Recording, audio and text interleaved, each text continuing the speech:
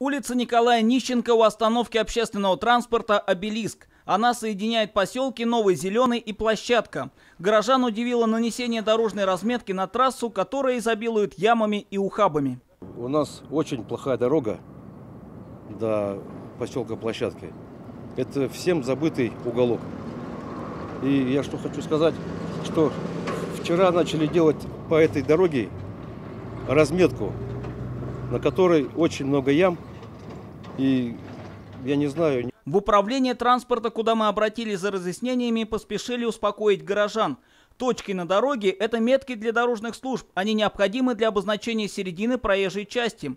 На них вскоре будут ориентироваться дорожные службы для проведения очередного ремонта. На, на этой улице будет наноситься разметка, э, сейчас подготовительные работы, но прежде чем э, мы проведем там ямочный ремонт.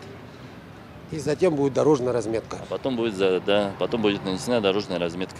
По правилам по требованию ГИБД она должна быть нанесена. Нас заверили, что ремонт будет закончен до 10 сентября, если работа не прервут погодные условия. С одном Ирдынеев, Намсарай Намсараев, Сергей Петров. Новости дня.